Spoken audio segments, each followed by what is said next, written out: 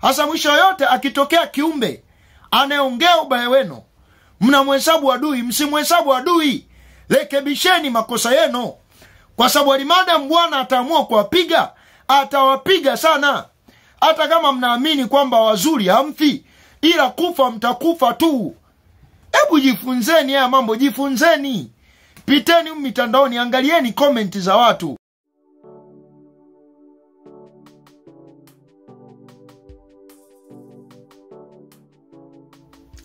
ya klipu mbili muhimu sana na mahususi kabisa kwa ajili ya viongozi wa serikali waliopo sasa na watakao kuwepo enzi zote za dunia kuwepo iwe ni tanzania au mahali popote duniani. Klipu mbili mahususi kabisa kwa ajili ya viongozi wa serikali waliopo sasa madarakani na watakao kuwepo mpaka dunia mwisho wa dunia. Nimeona nitoe klipu hizi mbili mahususi ambazo tena na tena huenda naweza nikawa nakuja na kuelezea mambo ya aina kama hii. Lakini klipu hizi ningependa kuanzia mheshimiwa rais samia zikufikie na najua kwa namna yoyote zinaweza ikakufikia lakini pia hata viongozi wengine mawaziri mlioko wabunge wakuu wa wilaya wakuu wa mikoa mkuu wa majeshi igp na yote. Lakini hasa ni wale mnaohusika kwenye ngazi mbalimbali za maamuzi. Kwa sababu hawa kama polisi na nani kwa sehemu kubwa wanaamrishwa na watu fulani. Kwa hasa mnaohusika kwenye ngazi mbalimbali za maamuzi na mnaoonekana kwa namna moja au nyingine mna uwezo wa kumfanya chochote yeyote ambaye anaweza kawa kwa namna moja au nyingine ameenda kinyume na mawazo au matakwa yenu. Leo natoa klipu ya kwanza na klipu ya pili nita, nitasema kwamba hii ndio klipu ya pili. Ambayo klipu yangu ya leo inasema kwamba kumfunga kumtesa au kumfungulia kesi au kumfanya chochote mtu anayeongea ubaya au makosa au madhaifu yako hakuondoi mabaya au mambo yanayoweza kukupata kwa sababu ya mabaya hayo uliyoyatenda.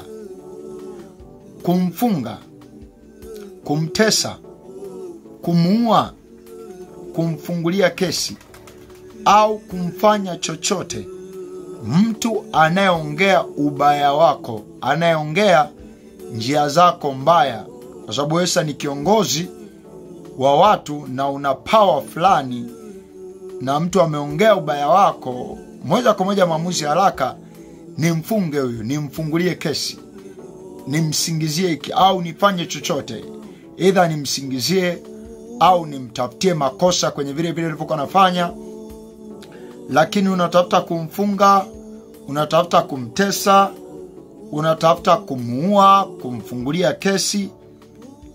Na kufanya chochote ambacho unaweza ukafanya kwa mtu anayeongea ubaya wako. Lakini hasa mwenye haki kwa sababu sio tu ule uwezo wa kuongea ubaya ukiwa na wewe mwenyewe ni mbaya maisha yako ni machafu mawazo yako ni machafu Aa, ni yule anayeongea ubaya wako wakati yeye mwenyewe anaonyesha mfano kwa matendo. Ana matendo mema ana njia zenye matendo mema ana njia zenye mwisho wa baraka. Mtu aina kama hii ukimfunga ukamuua ukamtesa au ukamfanya lolote kwa sababu tu ameongea makosa yako madhaifu yako uzembe wako. Sasa kwa sababu makosa aliyoongea ameongea makosa ya wanaoitwa watu wakubwa au mtu mkubwa. Kwa sababu makosa unayotakiwa kuongea unatakiwa ongee makosa ya watu ambao sio wakubwa sio wazito. Hawanya vyeo hawana nguvu za kisiasa. Kwa hiyo watu hawa wenye nguvu za kisiasa huwa wana kawaida moja ukiongea makosa yao wana kawaida ya kukujia juu, kukukamata, kukufungulia kesi, kukuambia umemkashifu rais, kesi ya uhaini na makesi mengine mengi kama hayo. Sasa ukifanya hayo yote yote hayo yote hayo utakayofanya hayo hayataondoa ubaya ambao ni malipo ya ubaya uliofanya wewe.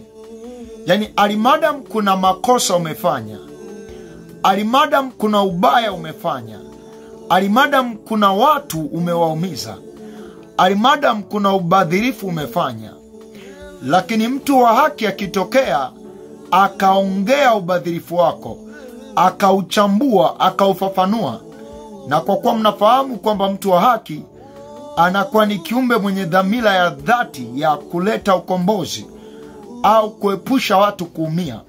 Kwa hiyo akatokea mtu wa haki au, wanasiasa wengi ni, ni mbwembwe tu. Ukiona hata wanasema bwana uh, sijui rais aongozi vizuri, ni mbwembwe, lakini hawana ile dhamira ya dhati. Ndio maana unamsikia Lissu anasema kwamba utofauti kati ya Rais Samia na marais wengine ni kwamba Rais Samia anakubali maoni, anakubali anakubali ushauri wa vyama vya siasa. Uhalisia na ukweli, angekuwa anakubali au anakubali au angekuwa anaokataa, ila kiujumla, wanasiasa lengo lao huwa ni na wao wale katika katika ile keki ya taifa, na wao wao wanakula. Kwa hiyo akitokea rais ambaye keki ya taifa wao hawatakuwa wanaila wanasiasa moja kwa moja wanamsema kama ni rais mbaya, kwa sababu amebana mianya yao ya kula. Yaani wanasiasa ni watu wa kuchumia tumbo, iwe ni wale walioko kwenye madaraka sasa au wale ambao hawako kwenye madaraka na wanajaribu kuongea kwamba labda toweni kodi ili ili wale watu fulani. Kijumla, hata wangekuwa ni wao wako kwenye nafasi hizo bado wangekuwa na wao wanakula tu kodi. Mwanasiasa sio kiumbe anayeweza akashughulika na ukombozi kiwango cha kuwa tayari kupoteza uhai wake, maisha yake. Kwa mwanasiasa, hata akiongea anaongea tu ili apate pesa za chai. Akipewa hizo pesa za chai, kule kuongea, bidii yake, jitihada yake ya kujituma kana kwamba anatetea wananchi utamkuta tu yuko kimya sehemu, ha, haongei chochote. Hiyo ni kwa sababu tayari amekuta amekutana na kitu alichokuwa nakitaka. Sasa nirudi hapa kwamba sehemu kubwa ya ninyi mnaoitwa sasa viongozi wa nchi au popote pale duniani, mna tabia moja ambayo inafanana, mna tabia ya kumuwinda sana mtu anayeongea madhaifu yenu, anayeongea makosa, anayeongea ubadhirifu fulani, wizi fulani, anayefichua uovu fulani mliofanya. Kumbuka jambo moja ya kwamba kila jambo lina malipo yake, sio tu mbinguni, hapa hapa duniani. Na kama nilivyokwambia mwanzo kwamba chochote utakachomfanya huyo mwenye haki hakiondoi malipo ya ubaya ulioufanya, hakiondoi ile laana ya milele ya wewe na kizazi chako. Ni kweli mtu huyu ambaye ni mtu wa Mungu, ni mwenye haki, anayetafuta kufunua uovu wako, anaweza akapitia adha za namna mbalimbali kwa sababu tu ya roho mbaya na ushetani uliokujaa ndani yako. Lakini katika yote hayo, unafahamu ya kwamba hata wewe tegemea litakupata baya, tena huenda baya zaidi ya hilo, ambalo Bwana saa yoyote atakapokuja kulipa kisasi, si tu katika maisha yale ya baadaye, yani baada ya kufa, hata katika maisha haya haya Mungu aweza akajitokeza na baadaye ukapatwa na jambo baya. Kwa hiyo kumfunga, kumtesa, kumfungulia kesi au kumfanya chochote mtu wa Mungu au mtu yeyote anayeongea ubaya, makosa au udhaifu wako. Hakuondoi mabaya au mambo yanayoweza kukupata kwa sababu ya mabaya uliyoyatenda. Nisome kwanza maandiko hapa kidogo, some kwanza maandiko kidogo, nitarudi kuendelea kufanua katika Wafalme wa kwanza, Wafalme wa kwanza, katika Wafalme wa kwanza hapa tusome kidogo maandiko, kwa sababu Biblia hii ni kitabu kilichoandika historia za watu waliowahi kufanya vizuri na waliowahi kufanya vibaya na kiliwatokea nini. Hiki kisa huwa nakipenda sana, kwa sababu ni kisa kinachoonyesha uhalisia wa ninyi manyapala mnaojiita viongozi wa nchi au wa dunia au wa serikali. Wafalme wa kwanza 22 mstari wa kwanza, twende pamoja katika kisa hiki. Wakakaa miaka mitatu pasipo vita. Ukumbuke katika Wafalme wa kwanza hiyo 21 Ahabu alinyang'anya shamba la Nabothi Myezreeli kupitia mkewe Yezebeli, na baada ya Ahabu kunyang'anya shamba la, ya, la Naboth kwa kumzurumu kupitia Yezle, Yezebeli mkewe, basi neno la Bwana likamjia Eliya. Nisome kidogo hapa, Wafalme wa kwanza 21 mstari wa 17. Neno la Bwana likamjia Eliya Mtishbi kusema, ondoka ushuke ukutane na Ahabu mfalme wa Israeli akaaye katika Samaria, yuko katika shamba la mizabibu la Naboth, ndiko alikoshukia ili alitamalaki. 19. Ukamwambie ukisema, Bwana asema hivi, je, umeua ukatamalaki? Je, umefungua kesi kwa mbarikiwa ili utamalaki, ili wasiweko watu watakaoongea makosa yako? Je, mnatufuatilia na kutuwinda kikosikazi ili mtamalaki? Kwa sababu mwisho yote kinachotafutwa hapa ni asiweko kiumbe atakayeongea makosa yenu, yaani asiweko mtu ambaye ata, ata, ataenda kinyume na kile mnachokifanya au mnachokisema. Kwa kile mnachokisema au kukifanya kiwe ndo kama nyie ni miungu, nyie hambadilishwi, hamgeuzwi na yeyote, nyie hamfi, yani ndo viumbe ambao mko top ya vitu vyote. Sasa swali ni je, mnafanya hayo ili ndo mtamalaki kwa uhuru? Ziko nyakati ambazo mnaweza mkawa mnadhani mnawatesa au kuwaondoa wenye haki katika nchi au kuwaua, mkidhani mnaleta amani zaidi kwenye nchi, au mkidhani mtatamalaki na kuiba au na kula au na kufanya chochote sawa na mtakavyotaka. Lakini kumbe wenda mjui hata kipande kidogo cha raha mlionayo ni kwa sababu kuna watu wa Mungu ndani ya hilo taifa wanalia usiku na mchana kumlilia Mungu alirehemu hilo taifa. wenda mfahamu kwamba watu wa Mungu hao wakiondoka huku nyuma, mtaota moto.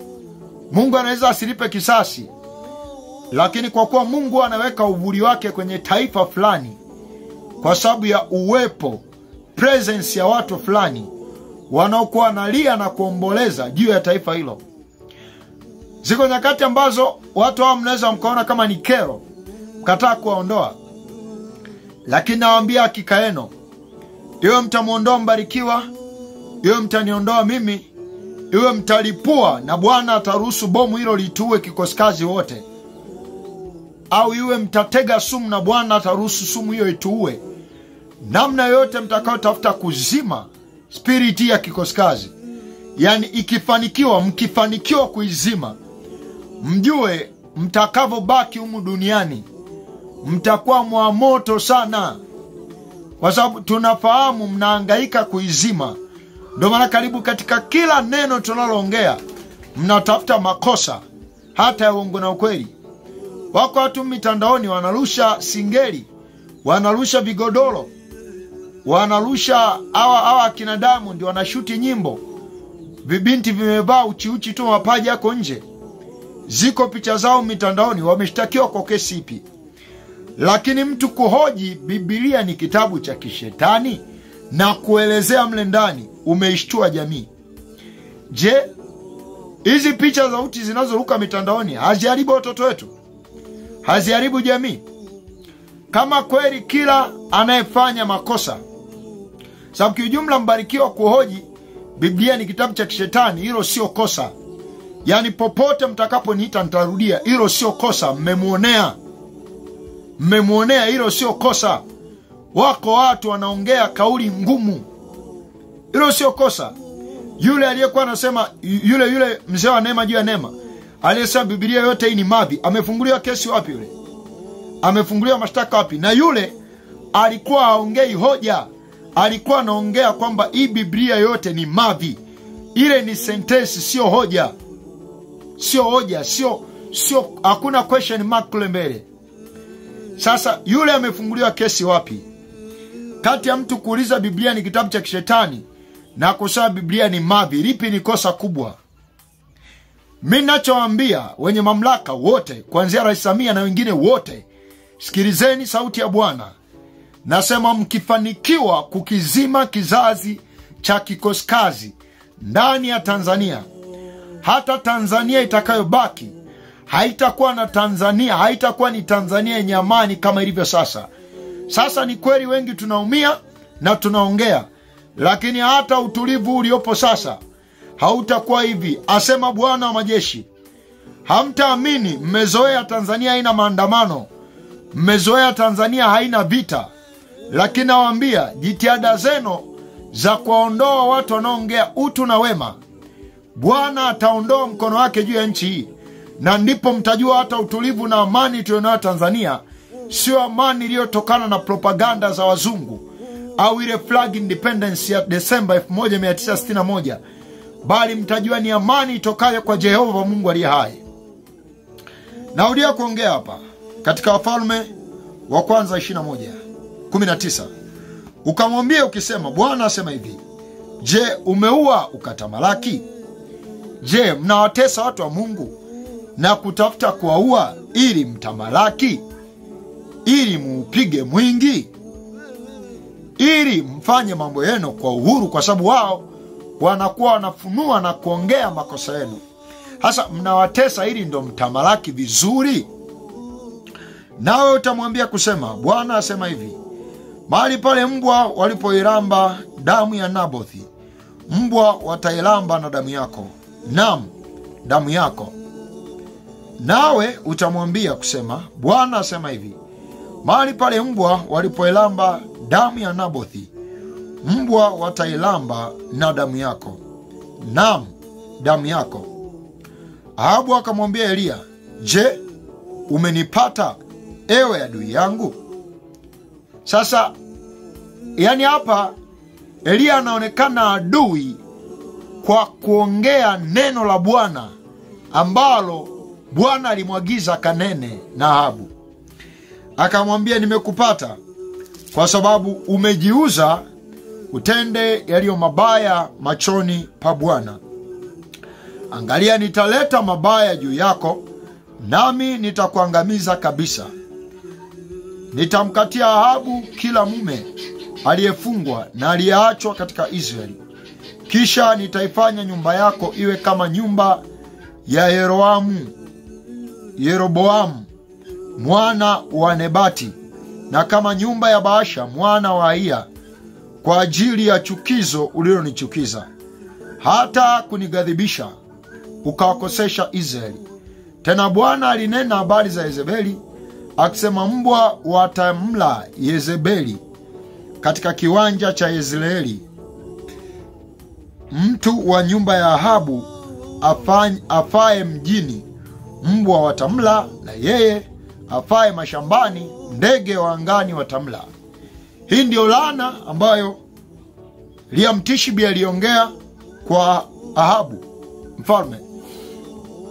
Liam Tishibi aliongea laana hii kwa Ahabu mfalme, Yezebeli na nyumba yote, kwa sababu hata sasa mwe mnafahamu laana ya kutafuna rasilimali za nchi na uwepo wa wanadamu au wananchi tunaoumia ndani ya nchi ambayo Mungu ametuumba, yaani kubali ukatae, au vyovyote vile, laana ya kutafuna rasilimali za nchi pekeeno na kututoza kodi kubwa, laana hiyo haitaishia kweno itaenda hadi vizazi vyeno kama vile Mungu asemavyo kwamba anawapatiza hadi kizazi cha nne na cha tano cha waovu. Sasa maneno haya alikuwa ameyatabiri Ahabu, na baada ya hapo ikaonekana ni kama mbona hajatimia hakuna kilichotokea.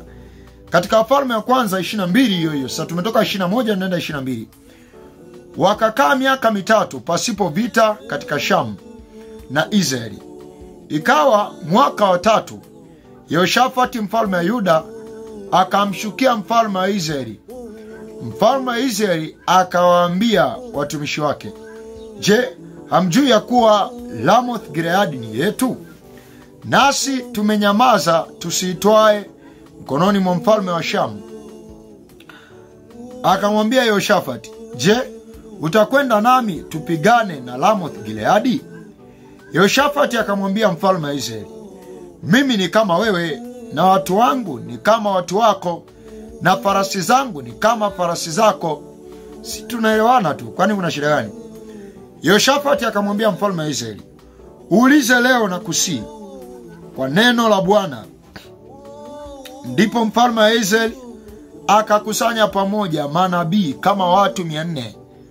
Akakusanya pamoja manabii wa mafuta ya upako, akakusanya pamoja akina Jodevi wakaenda kunywa chai Ikulu, akakusanya pamoja hao, akakusanya viongozi wa dini, maaskofu, akawakusanya akawaambia, je, niende juu ya Lamoth Gileadi kupiga vita au ninyamaze? Wakasema, kwea, kwa kuwa Bwana atautia mkononi mwa mfalme. Kwa hiyo hao maaskofu wakamwambia, unaupiga mwingi mama, unaupiga mwingi. Yaani wao wakawa hawatafuti kuongea makosa ya Ahabu, hawatafuti kumwambia Ahabu ukweli. Walikuwa wanatafuta kumwambia maneno ambayo yatamfariji Ahabu, yatamfanya Ahabu ajae kichwa, ajue Mungu yuko pamoja naye. Unajua swala la Mungu kuwa pamoja nawe, klipu yangu ya kwanza natoa, nitatoa klipu ya pili, lakini klipu zote zina mantiki moja. Swala la Mungu kuwa pamoja nawe sio swala la watu kukufariji, ni swala la wewe unaishije, unatendaje, maisha yako yakoje, kwa sababu as long as utakuwa unaishi vizuri, unatenda vizuri, hamuumizi mtu, haumtesi mtu, wewe haijalishi ni mkulima, ni rais, ni waziri, ni mkuu wa majeshi, Mungu anakuwa yuko upande wa watu wema. Lakini as long as kuna watu unawatesa umetoka kumua Naboth Miezreeli, alafu Eliya Mtishibi anakuja kuambia unabii, unasema umenipata ewe adui yangu. Kwa hiyo tangu enzi za Biblia wafalme na watawala daima walikuwa wanamwona kiumbe anayeongea makosa yao ni adui yao, kwa sababu huyo hawatakii mema, wakati manabii wengine na maaskofu wanaenda kunywa chai Ikulu.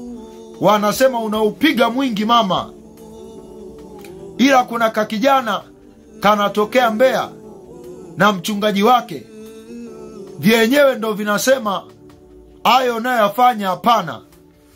Kwa hiyo hapa mfalme Ahabu alikusanya manabii, nami najua wako maaskofu kwa namna kadha wa kadha, wengine huwa wana wanaitwa kwenye vikao vya wazi Ikulu na wanakweko pale, wana wanatoa hoja zao, wanaongea. Wako akina mzee wa upako wanaenda kwenye mikutano ya kuzindua chanjo, wana mikutano ya kuzindua propaganda ya wazungu yenye nia ya kuitawala dunia, sio chanjo.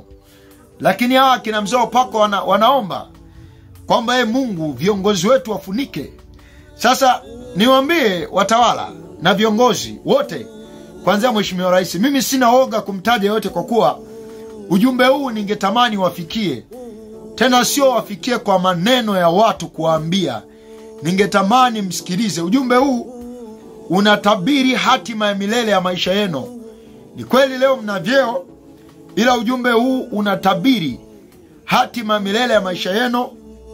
Mtakuwa watu wa aina gani duniani, na majina yenu yatanenwa vipi mkiondoka duniani? Majina yenu yatanenwa vipi? Mtanenwa kwa sifa nzuri kiwango gani, au kwa sifa mbaya kiwango gani? Sasa narudia kusema kwamba hawa ambao huwa mnawaita kwenye vikao vya propaganda na kusema askofu fulani, padre fulani atufungulie kikao kwa maombi, hawa ni kama manabii mia nne wa Ahabu. Hawa hawataki kuambia makosa yenu. Ukishamwona mtu hataki kukwambia makosa yako, huyo hakupendi, huyo hakupendi. Rafiki wa kweli akikuona una matongotongo usoni, anajua unakoenda ni kwenye public, utaaibika. Anakwambia toa matongotongo kwa sababu utaaibika. Rafiki wa kweli hawezi akakuona kuna kitu akiko sawa, alafu akakaa tu hivyo hivyo. Bila shaka nyie viongozi wakubwa, rais nani huo mnafahamu, kama umevaa suti vibaya, mlinzi wako ameiona, anakuja pale anapiga saluti, anarekebisha ile suti yule si kana kwamba ni anakuchukia, anakupenda, kwa sababu asingerekebisha lile vazi lako, ungeaibika unakoenda. Kama asingefunga kishikizo au kama asingefanya kitu fulani, ungeaibika. Hasa nyie mnachojua, awa maaskofu na awa manabii wa uniounio mtaani wanavyosema rais anaupiga mwingi na kuwasifia sifa nyingi za uongo na ukweli, mnaona hao ndo marafiki zenu au ndo manabii wa kweli. Lakini watu wa Mungu ambao tunaongea uhalisia, ambao kwenye mioyo ya watu wengi ndio ulivyo na ndivyo ulivyo, mnatuona maadui sana, kwa sababu nadhani katika nchi hii kwa hapa tulipofika sasa, ni ruksa watu kuumia, lakini wanatakiwa waumie kimoyomoyo, sio waumie afu waongee kuwa tunaumia. Waumie kimoyomoyo, kwa sababu wakiongea itajulikana kweli kuna watu wanawaumiza. Sasa ndipo mfalme wa Israeli msala sita ishirini na mbili Wafalme wa kwanza ishirini na mbili sita ndipo mfalme wa Israeli akakusanya pamoja manabii kama watu mia nne akawaambia, je, niende juu ya Lamoth Gileadi kupiga vita au ninyamaze? Wakasema, kwea, kwa kuwa Bwana atautia mkononi mwa mfalme. Lakini Yoshafati akasema, je, hayupo hapa nabii wa Bwana tena ili tumuulize yeye? Ukumbuke wameulizwa manabii mia nne. Yehoshafati alikuwa na mashaka sana na unabii wao, akasema hayuko nabii wa Bwana tena hapa mwingine. Mfalme akasemaje? Aya saba. Lakini Yehoshafati akasema, je, hayupo hapa nabii wa Bwana tena ili tumuulize yeye? Mfalme wa Israeli akamwambia Yehoshafati, yupo mtu mmoja ambaye tungeweza kumuuliza Bwana kwa yeye, yaani Mikaya mwana wa Imla, lakini namchukia kwa sababu anibashirii mema ila mabaya. Yuko mtu mmoja mbarikiwa, yuko mtu mmoja mbarikiwa na watoto wake wao, tungeweza kumuuliza Bwana kwamba Bwana ana picha gani juu ya viongozi na juu ya Tanzania, lakini nawachukia kwa sababu hawajawahi kunitabiria mema. Kila siku anatabiri mabaya tu. Naam, hata sasa anasema alimadam, kuna watu wanaumia na wewe ndiwe msababishaji. Levo yoyote ya uongozi au mamlaka ulionayo wewe jua utapata malipo ya maumivu ya watu, ambayo malipo yake Mungu si dhalimu, atakulipa sawa na dhuluma yako. Yoshafati akasema, la, mfalme asiseme hivi. Ndipo mfalme wa Israeli akamwita akida, akamwambia, mlete ima Mikaya mwana wa Imla. Basi mfalme wa Israeli na Yoshafati mfalme wa Yuda walikuwa wakikaa kila mtu katika kiti chake cha enzi, wamevaa mavazi yao katika sakafu langoni pa Samaria, na manabii wote wakafanya unabii mbele yao, Na Zedekia mwana wa Kenaani akajifanyia pembe za chuma, akasema, Bwana asema hivi, kwa hizo utawasukuma Washami hata waharibike. Angalia unabii huu, ndo unabii ambao kipande kubwa cha viongozi wetu mnajazwa, mnajazwa na maneno kama haya ya askofu.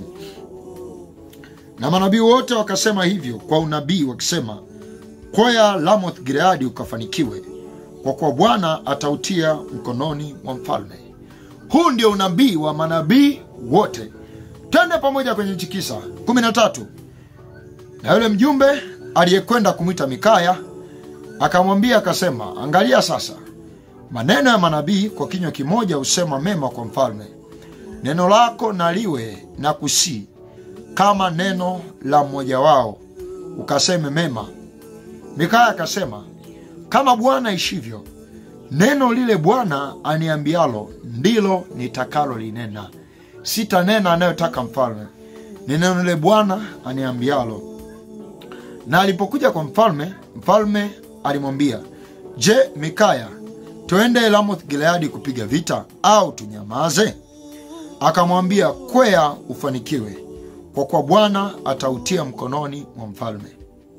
16 Mfalme akamwambia, mara ngapi ni kuapishe usiniambie neno ila yaliyo kweli kwa jina la Bwana? yani unajua watawala mna tabia moja, nyiye mnataka Mungu aendane na uovu wenu. Kwa hiyo neno lililo kweli kwa Mungu mnataka liwe ni lile ambalo umeupiga mwingi, ila neno lilo kweli kwa Mungu likiwa ubadhirifu huu unaoendelea kwenye ripoti ya CAG umechukuliwa hatua gani? Makampuni haya ambayo hayazalishi kitu yamechukuliwa hatua gani? Sijui hiki ambacho hakijaenda hivi kinachukuliwa hatua gani? Hayo nyiye mnasema kwamba haunibashirii mema, haubashiri kwa neno. Kwa hiyo nyiye Bwana, Bwana wa watawala tulionao na waliokuwepo tangu enza Bibilia, waovu ni Bwana atakaye nena sawa na uovu wao. Sasa kumi na saba akasema Mikaya sa akajibu hapa, naliwaona Waisraeli wote wametawanyika milimani kama kondoo wasio na mchungaji. Bwana akasema, hawa hawana bwana, na warudi kila mtu nyumbani kwake kwa amani.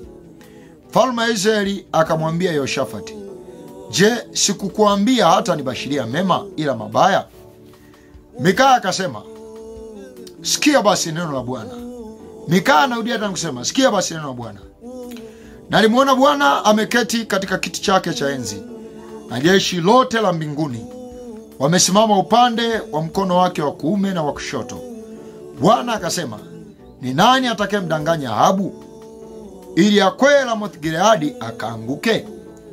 Ni nani atakayemdanganya, iwe ni rais, waziri au yeyote, ili afanye vibaya, na kule kufanya vibaya ajaze kichwa, na hatimaye katika kule kujazwa kichwa kwingi uwe ndo mwisho wa historia yake, au hata kama hataishia pale, ila hatimaye atakuwa na mwisho mbaya.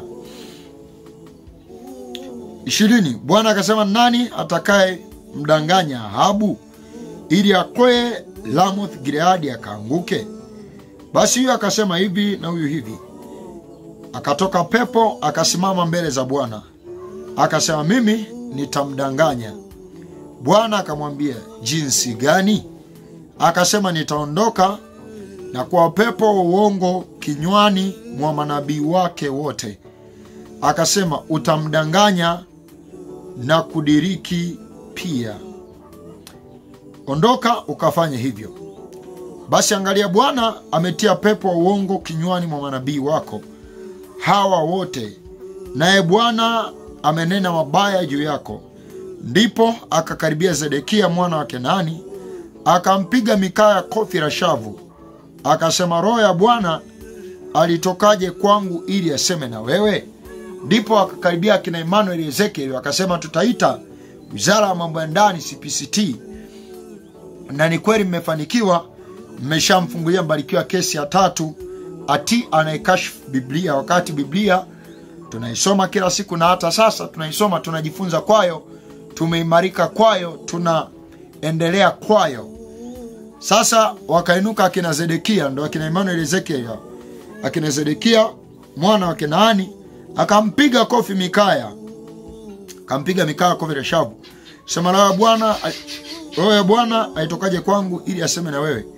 Mikaya akamwambia, angalia, utaona siku ile utakapoingia katika chumba cha ndani ili ujifiche. Mfalme wa Israeli akasema, mchukueni Mikaya. Napenda usome hichi kisa vizuri sana, kwa sababu mwisho wa yote unaweza ukajiuliza swali, kwa nini Mungu alituma pepo aingie kwa manabii?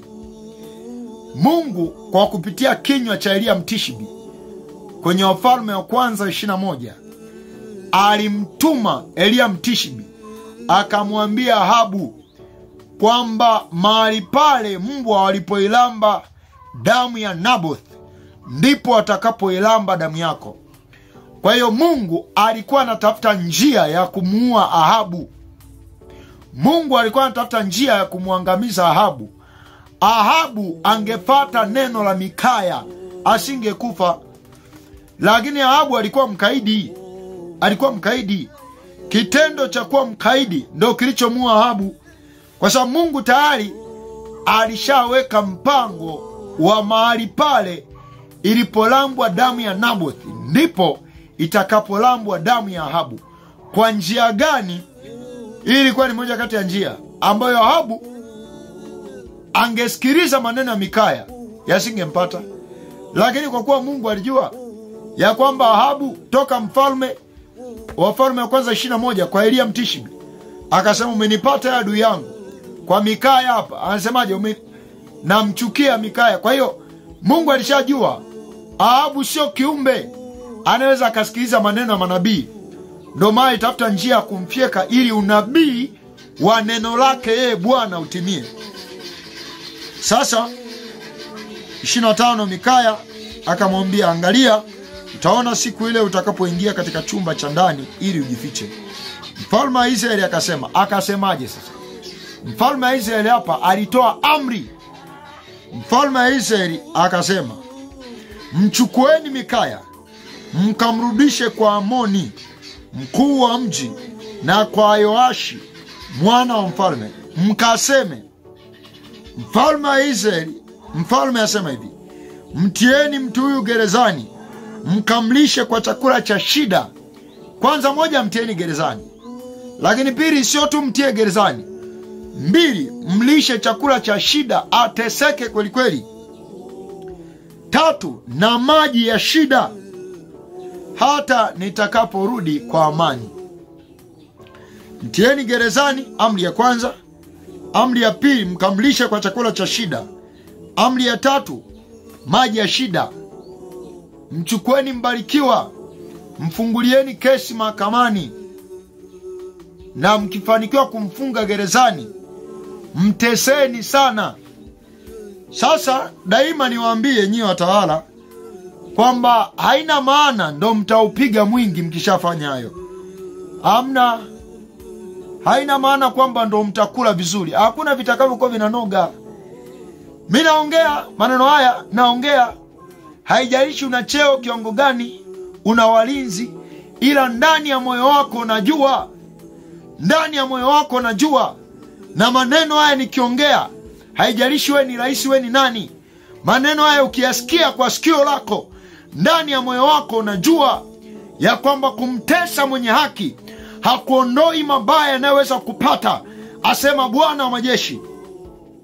Sikiliza, Mikaya akasema, ukirudi kabisa kwa amani, Bwana akusema na mimi. Akasema, sikieni enyi watu wote. Ikaishia hapa. Mikaya akabebwa akapelekwa gerezani akalishwa chakula cha shida na maji ya shida. Swali ni je, Ahabu kilichomuua ni ubaya aliyofanya? Swali ni je, baada ya kumfanyia haya, baada ya kumfanyia haya yote haya ambayo sasa mfalme aliyakangiza yakawa hivyo kwa Mikaya, swali ni je, mfalme alivyopanda Lamoth Gileadi alirudi au neno la Bwana ambalo alimwambia Mikaya lilitimia. 29 basi mfalme wa Israeli na Yehoshafati mfalme wa Yuda wakakwea mpaka Lamoth Gileadi. Mfalme wa Israeli akamwambia Yehoshafati, nitajibadilisha na kuingia vitani, lakini wewe uvae mavazi yako. Mfalme wa Israeli akajibadilisha akaingia vitani. Basi mfalme wa Sham alikuwa amewaamuru wakuu wa magari yake thelathini na wawili akisema, msipigane na mdogo wala mkuu, ila na mfalme wa Israeli peke yake. Yaani nyie vita yote ile, mwanajeshi yoyote mkimwona, achana naye, we shughulika na Ahabu, shughulika na Ahabu peke yake. yani we shughulika umalize tu Ahabu. Kwa hiyo majeshi yote ya Shamu yalikuwa hayashughuliki na Yehoshafati, hayashughuliki na wanajeshi, yanashughulika na Ahabu. Na ndipo ujue kwamba Mungu anavyokuja kuipiga nchi ambayo kwa sehemu kubwa amewaonya sana viongozi wake, huwa anaanza kupiga wale wakubwa ambao wao walikuwa wanasikia maonyo, lakini walikuwa wanayapuuza. Mungu anaanzaga kupiga wale. Ndio maana kuna mfano hapa, Mungu alikuwa na nia ya kumfyeka Ahabu, ndio maana aliingia ndani ya mfalme wa Shamu akaamuru majeshi, msiue mwingine yeyote, tafuteni mfalme wa Israeli peke yake, peke yake. Sasa ikawa kuwa magari 32 ikawa kuwa magari walipomwona Yehoshafati wakasema, huyu ndiye mfalme wa Israeli, wakageuka juu yake ili wapigane naye. Naye Yehoshafati akapiga ukelele, sio mimi, msiniue. Ikawa wakuu wa magari walipoona ya kuwa siye mfalme wa Israeli, wakageuka nyuma wasimfuate. Mtu mmoja akavuta upinde kwa kubahatisha, akampiga mfalme wa Israeli mahali pa kuungana mavazi yake ya chuma.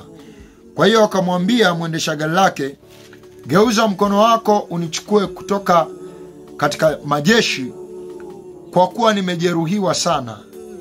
Pigano likazidi siku ile, mfalme akategemezwa garini mwake kinyume cha Washami hata jioni akafa.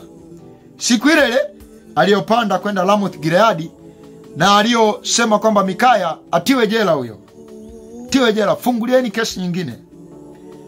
Hata jioni akafa.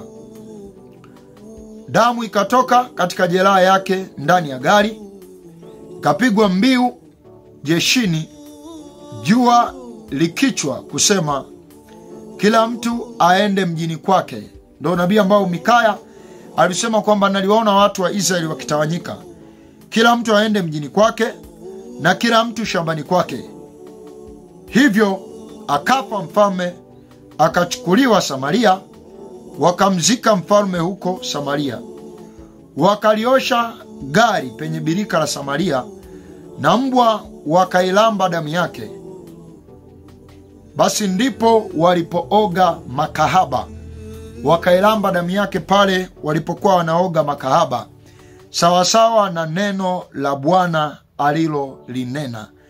Na mambo yote ya Ahabu yaliyosalia na yote aliyoijenga na yote aliyosalia na yote aliyoyafanya na nyumba ya pembe aliyojenga na miji yote aliyojenga, je, hayakuandikwa katika kitabu cha tarehe cha wafalme wa Israeli? Basi Ahabu akalala na baba zake, na Ahazia mwanawe akatawala mahali pake.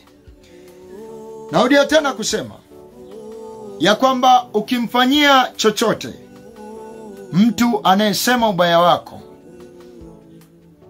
haiondoi wewe kupatwa na mbaya kwa sababu ule ubaya uliofanya, kwa sababu mabaya kadha wa kadha ambayo yanaweza kawa natupata kwa sehemu kubwa yanatokana na maisha machafu tuliowahi kuishi.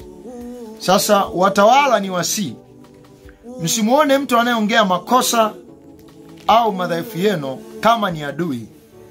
Hebu mwoneni kama ni rafiki yenu, mwoneni kama rafiki ambaye anawapenda na anawawazia mema. kwa sababu mwisho yote maandiko anachoeleza katika katika Biblia ni kwamba mtu anayekupenda kabisa kabisa anakuwa anakuonya, anakukemea, anajaribu kufanya njia mbalimbali ili wewe ufanye vizuri tena na tena. Mtu anayekupenda kabisa kabisa sio mtu ambaye anakuwa anakusifia kila wakati, kila wakati anakusifia. Hapana, huyo akupendi. Katika Mithali 27:17 Mithali 27:17 chuma unaochuma ndivyo mtu aunoavyo uso wa rafiki yake. Chuma unaochuma ndivyo mtu aunoavyo uso wa rafiki yake. Na katika mistari 28 mstari wa 23 amkemee mwenzake hatimaye atapata kibali. Anayemkemea so anayemsifia, zaidi ya mtu ajipendekezaye kwa ulimi. Kwa maskofu wao kazi yao ni kujipendekeza, au ndo manabii mia nne wa Ahabu. Lakini ona kilichotokea kwa Ahabu kinaendana na unabii wa Eliya Mtishibi ambaye Ahabu alimwita adui wake, kinaendana na unabii wa Mikaya ambaye Ahabu alimwita adui wake. Watawala na viongozi wa nchi mlioko sasa na mtakao kuweko, msimuone mtu anayekemea makosa yenu kama adui. Sio adui. Anayeongea makosa yako ana lengo la wewe ufanye vizuri, ana lengo la kurekebisha yale unayoyafanya. Unaweza ukasema hamna, eh? Huyo hajui tu changamoto, hajui tunavyokuwa kwenye uongozi unakuwa na changamoto gani. ndo maana unasema hivi, kama unaona uwezi, achilia hiyo nafasi. Uongozi isiwe kama unakuwa kama kama kupe akinasa kwenye ng'ombe amenasa, yaani kumtoa pale mpaka anapasuka ye mwenyewe. Uongozi kiwe ni kitu ambacho unaangalia kwamba una uwezo wa kuhendo mambo kiwango gani. Ukiona uwezo wako wa kuhendo mambo ni mdogo, mimi nadhani pesa ambazo CAG anatoa ripoti zinaibiwa zinaibiwa, pesa hizo zingeweza ku, kuendesha uchaguzi na akachaguliwa mtu mwingine. Ikiwa wewe unaona hauna uwezo wa kuenda mambo, uongozi si kitu cha kufanya ili mradi mambo yaende. Uongozi ni kitu kinachopimwa kwa ufanisi, kwamba mtu huyu, ndio maana unakuta watu wanakompea kwamba alikuwepo Magufuli, alikuwepo Kikwete, alikuwepo Mkapa. Kwa nini wao wanakompea? Kwa sababu leadership ni successfulness. Ume, umepelekea ufanisi kiwango gani kwa watu, umepelekea wepesi kiwango gani kwa watu. Kwa wakimwona mtu fulani aliyewahi kuleta ufanisi fulani kwenye jamii na wakamwona mwingine ameshindwa kuleta ufanisi ule, katika measurement za akili za kawaida wanasema mtu huyu nchi imemshinda. Sasa najua kauli kama hii sio moja kati ya kauli ambayo mnaipenda, ila watu wanaiongea sana tu, wanaiongea maeneo kadha wa kadha kwamba bwana, wana nchi imemshinda, sio mimi. Watu wanaiongea kwa nini? Wanapima successfulness, wanapima kwamba kilitokea nini, kuliko kuna hali gani, maisha yalikuwaje. Lakini pia niambatanishe mfano mdogo ambao unaweza usipendwe sana, hasa kwa nyakati hizi. Niambatanishe mfano mdogo e, tulikuwa tuna ndugu yetu, tulikuwa tuna ndugu yetu, kwa sababu sisi sote ni binadamu, tumetoka kwa Mungu, tutarudi kwa Mungu. Tulikuwa tuna ndugu yetu mmoja aliwahi kuwa kiongozi hapa Tanzania, alikuwa anaitwa Bernard Membe, ambaye sasa ametutoka na ametangulia mbele za haki na mbele ya kiti cha hukumu ili kusubiri yale ambayo Bwana siku ya ufufuo aweza akahukumu juu ya maisha yake. Sasa kuna kuna kuna mambo ambayo sijajua alikuwa anafanya au alikuwa afanyi, sijajua, lakini kinachoonekana ni kama msiba alikuwa ana anaongea makosa yake. Siwezi nikazungumza kwa undani juu yake kwa sababu hawa wanaharakati na wanasiasa wote huwa ni wahuni wahuni, maisha yao hayaja hayajanyoka moja kwa moja, hayako wazi, hayako kwa namna ambayo mtu anaweza akajifunza kwao tabia fulani. Huenda alikuwa anafanya hivyo kwa kisiasa au kwa kutafuta kiki.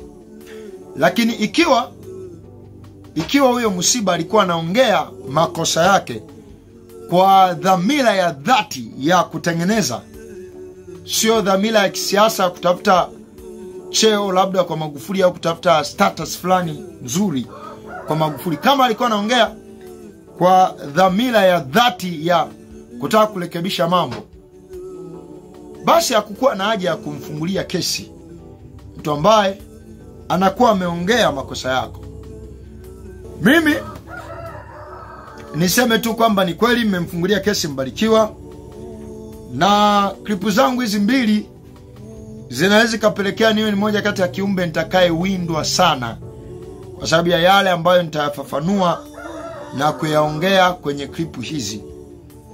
Ila vyovyote takavyokuwa na vyovyote nitakavyowindwa bado nikiendelea kuwa hai nitazidi kuyaongea haya. Kwa hiyo watawala mwe mnafahamu ukishaishi maisha ya ubaya utapata malipo ya ubaya wako. Ukishaishi maisha machafu ya wizi ya ubadhirifu ya kuumiza kutesa watu kupanga mikodi isiyo na mbele wala nyuma. Na wakiongea mnasema wahame nchi tuhame nchi tuhame nchi. Hii nchi mliumba nyiwe watawala mbona mbona mnakufuru hivyo nyie watawala? Eti mbona mnakufuru hivyo mwisho wa yote tukiongea makosa yenu mnatuchukia jamani. Hivi mnaotwambia si tuhame nchi twende burundi au twende mahali ambako nchi mliumba nchi ya baba zenu hii? Ni baba yenu alinunua nchi au, au nchi udongo aliumba mungu? Hizi hera hizi yani hizi hera hizi mnazochukua kwetu kana kwamba si hatutafuti unajua wakati mwingine bwana watu si mkoje? Nyie hela mnazo au mnakuja kutafuta mia mia zetu si mchukue huko za mbuga za wanyama za bandari. Mbona mnachukua za kwetu? Si tunaokesha usiku na mchana natafuta mia mia mnakuja kutafuta hela zetu. Hadi kaamia kwa kwenye muamara, mnakuja katafuta popote nyie watu nyie. Alafu haya mnayoishi haya haya mnayoishi haya haya. Yaani nyie mnaongea maovu wazi wazi. Nyie mnatuambia tuame nchi wazi wazi. Nyie mnatutabiria mabaya wazi wazi mnaamuru wazi wazi mabaya tupate. Kwa sababu mwisho yote unavyoniambia mi niame nchi unakuwa unanitengenezea mazingira gani wewe? Hasa mwisho yote akitokea kiumbe anayeongea ubaya wenu mnamhesabu adui msimhesabu adui. Rekebisheni makosa yenu. Kwa sababu alimadamu bwana ataamua kuwapiga atawapiga sana. Hata kama mnaamini kwamba wazuri hamfi ila kufa mtakufa tu hebu jifunzeni haya mambo jifunzeni.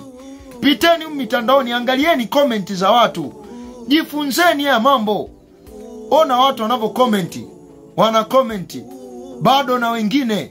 Mungu analipa kisasi. Kwa nini? Kwa nini aongelewe maneno kama hayo? Kwa vyote vile yako maisha. Watu wanaona wazi mnayaishi. Na maisha yale yanapelekea maumivu kwao. Kwa nini uishi hivyo? We ishi kwa haki tenda kwa haki ni vema hata ukapoteza uhai wako ukapoteza cheo lakini utende kwa haki. Mahali pengine nyiwe wenyewe huwa mnasema kwamba hatutaondoka duniani na kitu lakini huwa ni kauli ya mdomoni mioni mweno mnajenga na kuwekeza na kufanya vitu vingi katika maisha haya mkidhani hivyo mtakavyofanya asitokee mtu atakayeongea. Akiongea tu ni mbaya weno, sio mbaya weno. mimi ni rafiki yenu mkubwa naongea makosa yenu ili mjirekebishe. Ni rafiki yenu na mimi kama rafiki yenu naumia hata rafiki yako ukiona rafiki yako amekukanyaga umwambie umenikanyaga we panauma. Unamwambia kwa nini ni rafiki yako? Bwana umenikanyaga panauma toa huo mguu. Ndicho hichi nachokifanya hasa kwa neno la bwana mi nasema mkiendelea kufanya maovu mkiendelea kufanya maovu kuongea uovu tutaongea na lolote ambalo itatupata jueni tambueni mtatufunga lakini mabaya yatokanayo na uovu wenu hamwezi kuyaepuka mabaya na madhira na mapigo ya mungu yatokanayo na maisha machafu mliyoishi. Hamwezi mkaepuka ni kweli hakuna mtu anayefurahia mwenzake kufa. Wote tunaumia kwa sababu sote ni binadamu. Na hata maandiko alisema mungu afurahii kufa kwake mwenye dhambi. Lakini katika kuto kufurahia kufa kwa mtu tunajifunza nini? Tunajifunza nini? Tunabadilikaje? Kwa sababu sisi tulio hai sisi imetupasa tujifunze mambo kwa kila linaloendelea kwa kwa kile kilichokufa tayari kimeshakufa mara moja ila sisi tulio hai pia tutakufa mara moja na baada ya kifo ni hukumu. Imalizie kusema inalilahi wa ina lilahi rajun tumetoka kwa mungu na tutarudi kwa mungu. Tumetoka kwa mungu na kwa mwenyezi mungu sote tutarejea na tutasimama mbele ya kiti chake cha hukumu kuweza kujibu yale ambayo tuliyatenda tukiwa duniani. Hii ni sauti ya mtoto wa mtu aliyetoka nyikani tengenezeni njia ya bwana na yanyosheni mapito yake. Kila kilima na vilima vitashushwa na kila bonde litainuliwa naye ni heli mtu yule atakayefungwa atakayeteswa atakayesumbuliwa kwa namna yoyote na hata kufa katika bwana tangu sasa apate kupumzika baada ya tabu zake. Kwa maana bwana yu karibu kuja maranatha